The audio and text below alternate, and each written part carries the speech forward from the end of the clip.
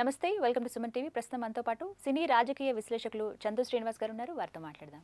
శ్రీనివాస్ గారు నమస్తే అండి. యా అన్స్టాపబుల్ సెకండ్ ఎపిసోడ్కి సంబంధించిన ప్రోమో వచ్చేసింది. దీని గురించి మాట్లాడుకుందాం. ఎందుకంటే ఫస్ట్ ఎపిసోడ్కి సంబంధించిన ప్రోమో అప్పుడు కూడా మనం డిస్కస్ చేసుకున్నాం. అయితే చాలా ఇంట్రెస్టింగ్గా ఉన్నాయి. అయితే ప్రత్యేకించి కంప్లీట్గా పొలిటికల్ ఎక్కువగా కనబడుతున్నాయి క్వశ్చన్స్ అన్నీ కూడా. అండ్ మేబీ ఇది సెకండ్ హాఫ్గా భావించి మ్యాక్సిమం ఏమైనా ఒక్క క్వశ్చన్ అయితే ఇంకా ఏం సమాధానం ఇచ్చారా పవన్ కళ్యాణ్ గారు? అది డెఫినెట్గా అందరూ వెయిట్ చేస్తున్నారు. అంటే ఆసక్తిగా ఉన్నాయి పవన్ కళ్యాణ్ గారు ఇచ్చేటువంటి సమాధానాలన్నీ కూడా. ఉత్కంఠ రేపుతున్నాయి బాలయ్య గారి ప్రశ్నలు. ఇదే అందరూ మాట్లాడుకుంటూ ఉన్నారు. What's your analysis on that promo ముందుగా? చాలా అద్భుతంగా ఉన్నాయి.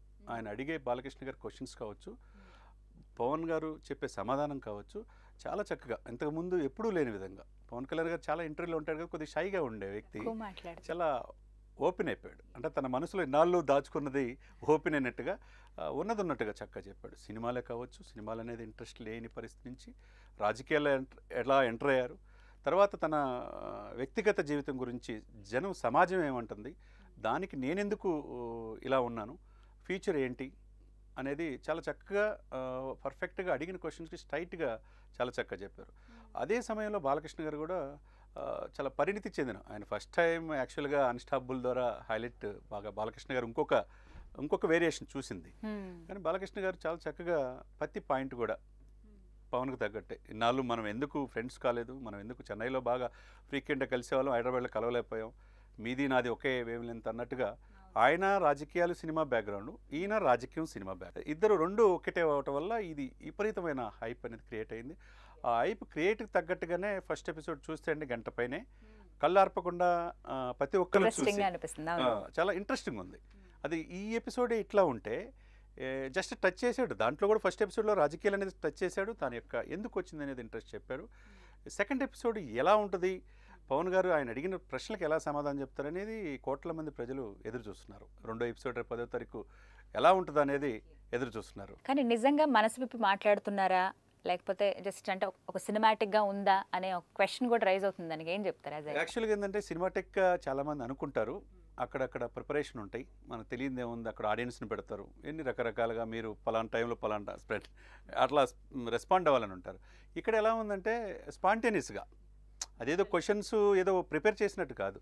బాలకృష్ణ గారి మనసులో స్ట్రైట్గా అడిగినట్టున్నది ఆయనతో ఆయన స్టార్టింగ్ నుంచి అక్కడమ్మా ఇక్కడ అది ఆ సినిమా నుంచి దానికి తర్వాత ఒక సినిమాకైతే అతిథిగా బాలకృష్ణ గారు కూడా వెళ్ళారు కాబట్టి ఆ ఫోటోలు వేసి ఆయనకి ఈయనకి వ్యక్తిగతంగా ఎలా సినిమాలోకి వచ్చాడు తర్వాత రాజకీయంగా ప్రజల మనిషి ఎలా అయ్యాడు కోట్లాది మంది ప్రజలు ఇచ్చేసుకుంటే నువ్వు ఎట్లా ఆ ఓటు రూపంలో ఎట్లా కన్వర్ట్ ఎందుకు కావట్లేదు అనేది జస్ట్ టచ్ చేశాడు ఫస్ట్ ఎపిసోడ్. ఈ సెకండ్ ఎపిసోడ్లో అంతా పూర్తిగా ఏంటంటే అదే ఉంటుంది అనే ఇది కలుగుతుంది. రెండు సెకండ్ ఎపిసోడ్ ప్రోమో చూసుకుంటే ఒక సామాజిక ఒక సామాజిక స్పృహగా ఒక ఆదిలాబాద్లో గోండులు అంటే వాళ్ళ జీవితంలో కరెంట్ అనేది లేని దాన్ని అలా చూసుకొని ఆ, యొక్క సెవెంటీ పీపుల్కి ఎవరైతే ఉన్నారో సిక్స్టీ సెవెంటీ పీపుల్స్ నివసిస్తున్నారో ఫస్ట్ చూపించింది. ఆ గోండు ప్రజలు తీసుకొచ్చి ఆహా టీవీ వాళ్ళు ఇది ఎంటర్టైన్మెంటే కాదు ఒక సామాజిక ఇతివృత్తంగా సామాజికంగా మేము ఒకటి చేస్తున్నాం అనేది అది బాలకృష్ణ గారి దగ్గర పవన్ కళ్యాణ్ దగ్గర వాళ్ళకి ఒక లక్ష రూపాయలు చెక్కు కావచ్చు.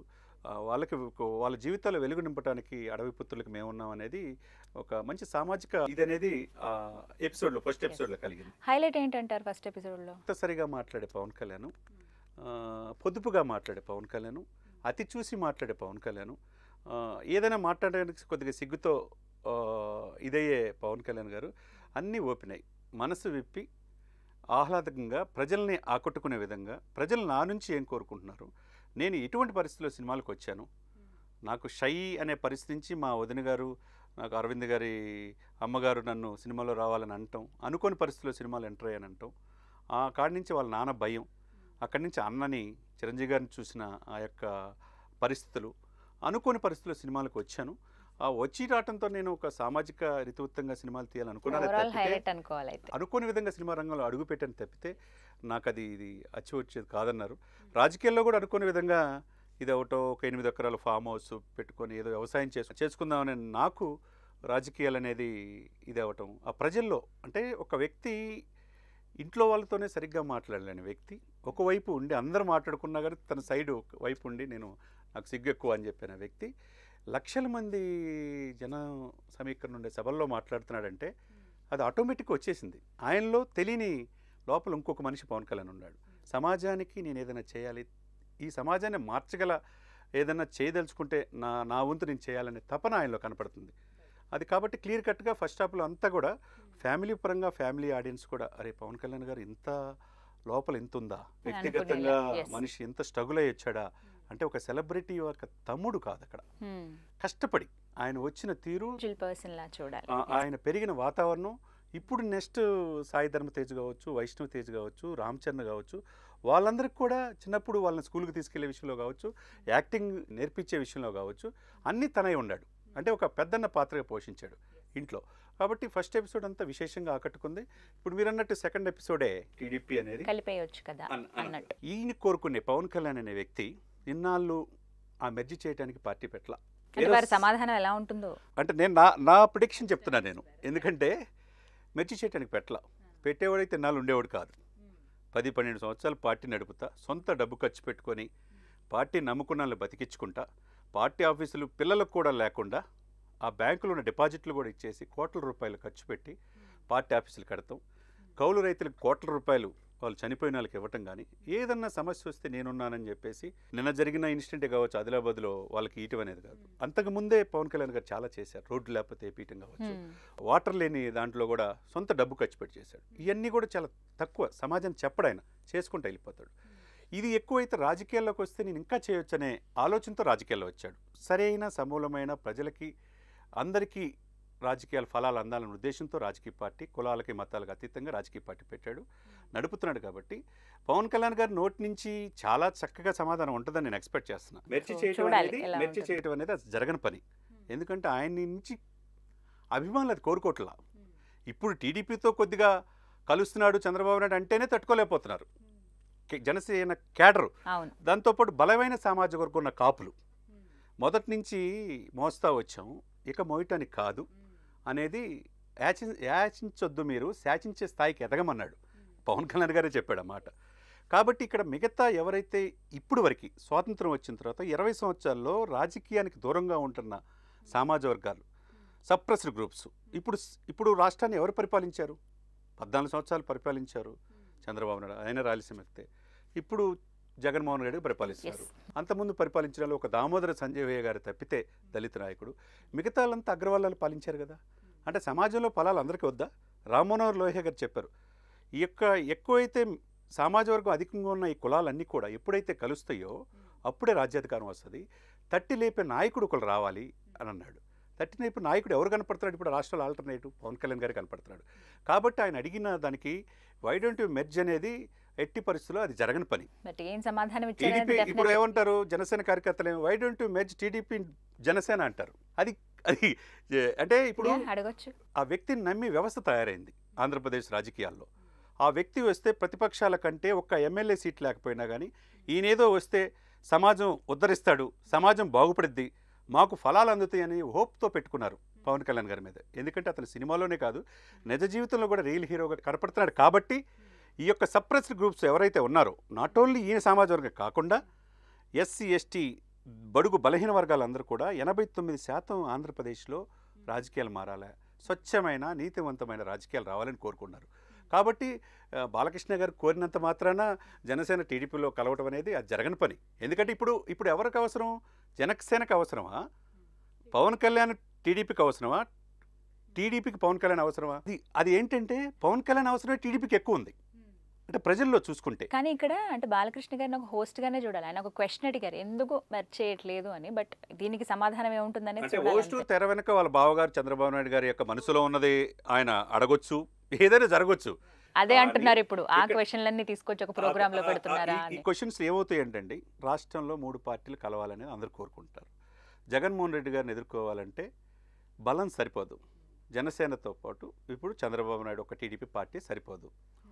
ప్రజల్లో ఆ యొక్క చామున్న లీడర్ కావాలి. ఎవరు కనపడుతున్నారు? ఆయన వయసు డెబ్బై సంవత్సరాలు అయిపోయింది కదా. లోకేష్ గారు ఇప్పుడిప్పుడే రాజకీయాలు నేర్చుకుంటున్నాడు కదా. ఆల్రెడీ రాజకీయాలు నేర్చుకున్న పవన్ కళ్యాణ్ గారు ఆ ఫేమ్ కనపడితే ముందుకెళ్తే డెఫినెట్గా అధికారంలో వస్తుంది అనేది వాళ్ళ మనసులో ఉన్నది ప్రజల మనసులో ఉన్నది. ఆ సర్టన్ టైంలో బీజేపీలో కూడా కలిస్తే మూడు పార్టీలు కలిస్తే హ్యాపీగా నూట వంద సీట్ల పైన రా వచ్చే అవకాశాలు ఉన్నాయి. ఇది ఎలా ఎలా కలిసిద్ది. అనేదే ఇక్కడ ప్రశ్న. ఎందుకంటే రెండు వేల పద్నాలుగులో ఇదే చంద్రబాబు నాయుడు గారిని సీఎం అవటానికి తన తన రాజకీయ జీవితం కూడా త్యజించి అనుభవం ఉన్న వ్యక్తి ఈ రాష్ట్రానికి సీఎం కావాలని ఆ పదవిని ఆ యొక్క ఇదిని వదులుకున్న వ్యక్తి ఎవరు? పవన్ కళ్యాణ్ గారు. అదే రెండు వేల పంతొమ్మిదిలో పవన్ కళ్యాణ్ గారు గాజువాకలో భీమవరంలో పోటీ చేస్తే ఇదే చంద్రబాబు నాయుడు గారు కానీ చంద్రబాబు నాయుడు యొక్క టీం కానీ మన పవన్ కళ్యాణ్ అనేది అనేది చూసారా ఆ రెండు నియోజకవర్గాల్లో పటిష్టమైన అభ్యర్థులు పెట్టి పవన్ కళ్యాణ్ గారు ఓడిపోవడానికి కారణం వారు ఇదే టీడీపీ కాడరు ఎలా నమ్ముతారండి ప్రజలు? ఎలా నమ్ముతారు ఇక్కడ ప్రశ్న? ఇప్పుడు ఇన్విటబుల్ అండి. ఆంధ్రప్రదేశ్ రాజకీయాలకి పవన్ కళ్యాణ్ గారు లేకపోతే అధికారంలో రావటం కల్లా. అనేది ప్రస్ఫుటంగా ప్రజల్లో కనపడుతుంది. ప్రజల నాయకుడిగా ముద్రపడ్డాడు. ఏ సమస్యలు ఉన్నా నేనున్నాననే ఆ భరోసా ప్రజలకు ఇవ్వగలుగుతున్నాడు సినిమాలో ఒకవైపు బ్యాలెన్స్ చేసుకుంటున్నాడు. రాజకీయాల్లో ఒకవైపు బ్యాలెన్స్ చేసుకుంటా ఎవరి దగ్గర సింగిల్ పైసా కూడా తీసుకోకుండా సామాజిక ఇదిగా సినిమాలో వచ్చిన డబ్బుని త్యాగం చేస్తా ప్రజల కోసం చేసే వ్యక్తిని పవన్ కళ్యాణ్ గారిని మెజ్జి చేయడానికి కాదు పవన్ కళ్యాణ్ చూస్తుంది.